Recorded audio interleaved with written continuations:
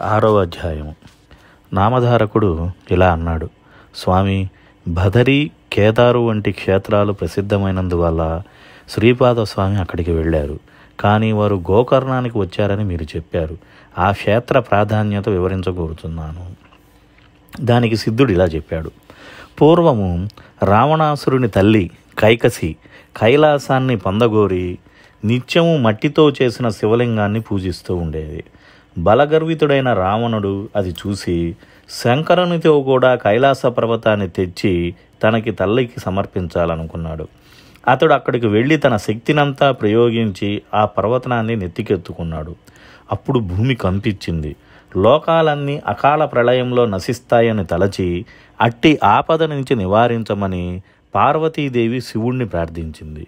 శివుడు రావణుని కైలాసం పర్వతం కింద అణిగిపోయేటట్టు తొక్కాడు. అప్పుడు రావణుడు ప్రాణాపాయలో ప్రాణాపాయంలో పడి దీనాతి దీనంగా శంకరుణ్ణి ధ్యానించాడు. కరుణాసముద్రుడైన కైలాసపతి అతని ధ్యానాన్ని ప్రసన్నుడయ్యి రావణ్ణి లేవనెత్తాడు. అప్పుడు రావణుడు రాగయుక్తంగా సుస్వరంగా మధురగానం చేశాడు.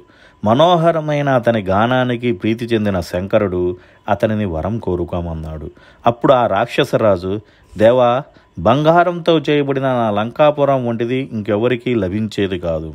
సాక్షాత్తు లక్ష్మీదేవియే నాకు దాసి. చతుర్ముఖైన బ్రహ్మే నా జ్యోతిష్యుడు. యమధర్మరాజు నా సేవకుడు. సర్వదేవతలు నా పరిచాలకుడు అటువంటి నాకు ఎక్కడా ఏది దుర్లభం కాదు.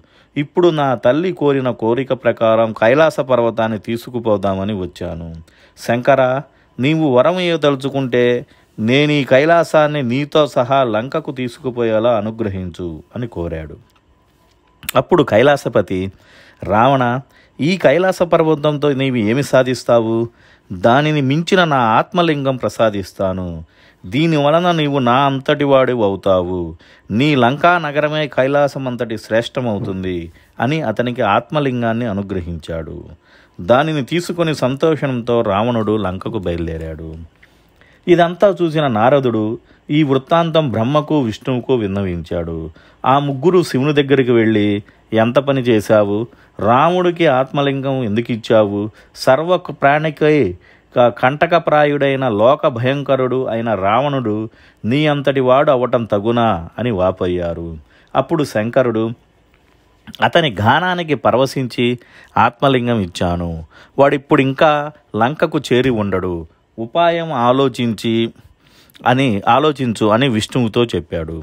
అది విని శ్రీహరుణ్ణి శ్రీహరి దుర్మార్గుణ్ణి మోసంతోనే జయించి ఎలాగైనా ఆత్మలింగాన్ని చేజిచ్చుకోమని నారదుణ్ణి గణపతిని ప్రేరేపించాడు. అప్పుడు దేవర్షి అయిన నారదుడు మనోవేగంతో రావణ వద్దకు పోయి రావణ ఎక్కడి నుంచి వస్తున్నావు? ఎక్కడికి పోతున్నావు? అన్నాడు. రావణుడు శివుని ప్రసన్నం చేసుకొని ఆత్మలింగాన్ని పొంది లంకకు పోతున్నాను అని దానిని చూపాడు. రావణుని మాటలతో ఏమార్చాలని నారదుడు రావణ పూర్వం యొక్క భయ ఒక భయంకరమైన జంతువు అడవి దున్నలంటిని చంపుతుండేది. త్రిమూర్తులు దాన్ని వేటాడి సంహరించి దాని కొమ్ముల నుంచి తలా ఒక లింగము తీసుకున్నారు. ఆ లింగాలనే వారు తమ ఆత్మలింగాలుగా భావించారు. ఈ లింగం తస్తమాదమైనదే కాపోలు ఈ శివలింగం ఎంతో పవిత్రమైనది. సాక్షా సాక్షాత్తు శివ సాయుధ్యం ప్రసాదింపగలదు అని దాని ప్రభావం వివరించిపోయాడు.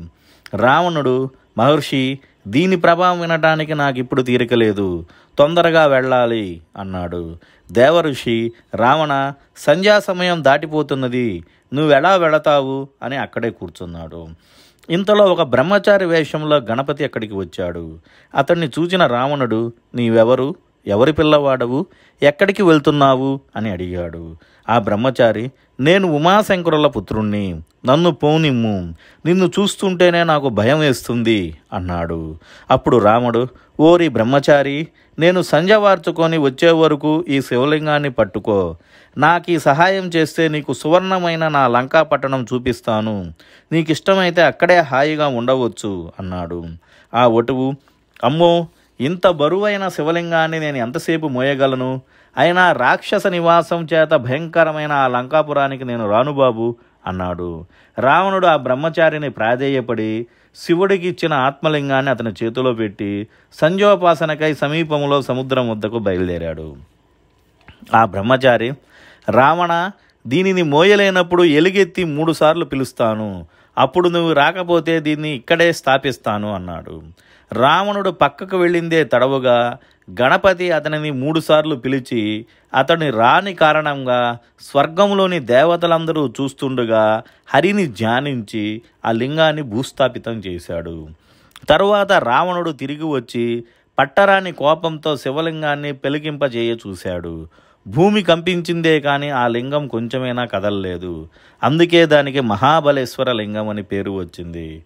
అది చెవు ఆకారాన్ని పోలి ఉండటం వలన ఆ క్షేత్రానికి గోకర్ణం అని పేరు వచ్చింది. నామధారిక దానిని భూకైలాసం అనవచ్చు. ఇప్పుడు అక్కడ శివుడు సపరివారంగా నివసిస్తాడు.